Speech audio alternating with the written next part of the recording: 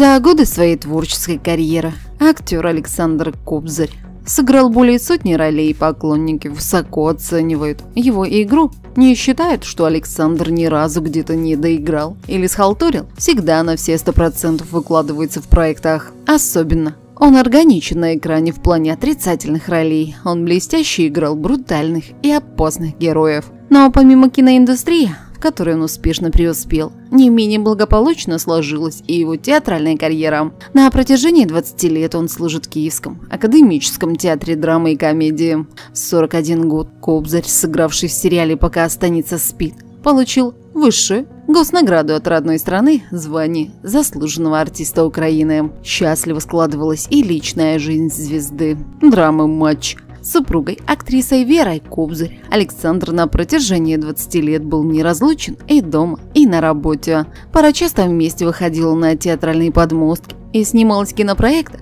Например, в фильме «Забудь и вспомни».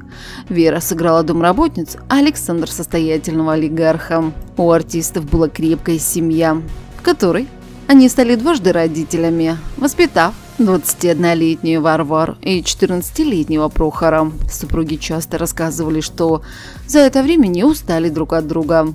Но два года назад Кобзарь признался, что развелся с женой, сообщив, что отношения между ними давно разладились. После развода бывшим супругам удалось сохранить нормальные отношения. Они вместе участвуют в жизни своих детей. А недавно Александр поделился, что его сердце не свободно.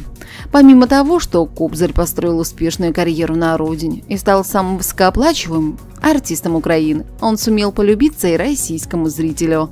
Он активно снимался в российских проектах и после 2014 года. Но несколько лет назад Кобзарь разорвал все отношения с Россией. Сейчас он организует сборы для армии своей страны, а его брат автомалер по профессии является военнослужащим. Также Кобзарь продолжает сниматься в украинских кино и сериалах. А вам нравится этот артист? Пишите свои мысли в комментариях.